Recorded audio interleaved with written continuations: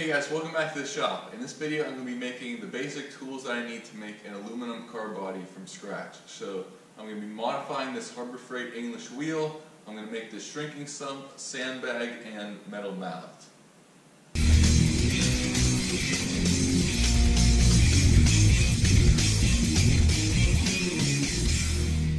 Alright, so I got this English wheel here, assembled now. This is from Harbor Freight. And first impressions are actually better than expected. I don't really have high expectations for anything from Harbor Freight, um, but this this seems like it will work. Um, one thing I was worried about is I've heard people getting these these wheels and they're not they don't actually spin true. Um, but I put an indicator on this. This one is within a thousandth of an inch. Same, I assume same with the bottom. When you're looking at them, you can't see any wobble to it. So that's something that I'm very pleased about. Couple things though that I do have to modify is one, it was too short. So I can have it spaced up there on those I-beams about seven inches. I'm gonna weld it to that and then probably bolt that to the floor. I'm also gonna weld um, this right here because these bolts aren't enough to keep this whole frame from like rocking back and forth when you're pushing stuff through it. Um, the biggest issue though is this whole upper frame here, it just, it just doesn't have any rigidity to it. As soon as you stick any sheet metal in here, it just opens right up. And like you can't you can't get enough pressure on there to actually control what you're doing. So the way I'm going to fix that is what some people do is they'll make some truss system here put like a spine on the back anything to make this stronger here. Um, what I'm going to do is I'm just going to weld a pipe on the top of here to go up to that beam right there. And I think that will take pretty much all the load um, this will just hold it in place and that should fix the flexing problem. So I'm going to get to that right now.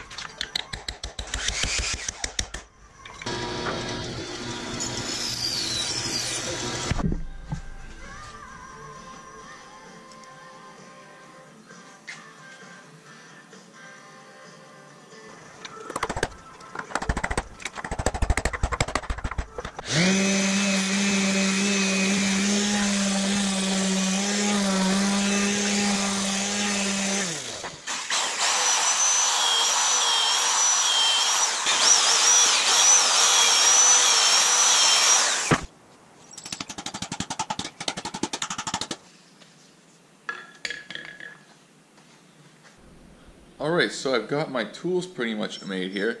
Um, the modifications I made to this English wheel is mainly I spaced it up 7 inches there with that I-beam so now it's at a much more usable height. And these two braces that I put in the top really help a lot um, because as I mentioned there's a lot of flex to this frame here. Um, so with that, this pole here kind of takes all the vertical load and then this one takes all like the horizontal load. Um, so now this, this upper wheel is very solid um, it, it, really doesn't move at all. So now this is a, actually a pretty nice usable English wheel now. Um, very pleased with how that came out. I also made this shrinking stump here. I carved the dish into it here and the idea behind that is you can use that to kind of like um, pound flat sheets of metal into to kind of start start like a curve and then you can use the flat part to, to pound out the wrinkles that you make with that.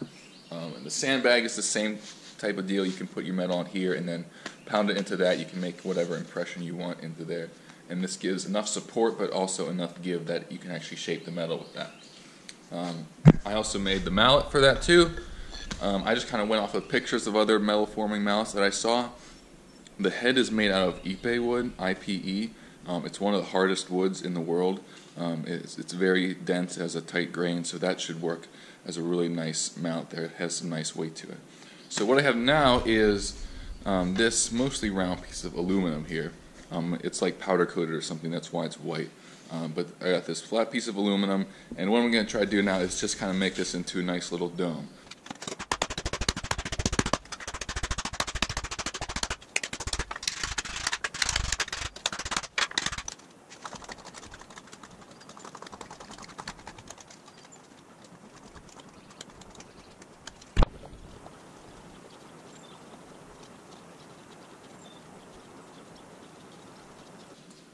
Alright, so before too much time there, you can see I got a nice kind of domed shape out of this once flat piece of aluminum. Alright, so now that I have pretty much all my tools in place, um, I'm going to be ready pretty soon to start making the actual um, panels for this. Unfortunately, this Harbor Freight English wheel only comes with one of these lower anvils, and this this one has too high of a crown um, to really do much with. Um, I want to make this hood. This is one of the first like curved pieces I want to make, and this has like a very gentle curve to it.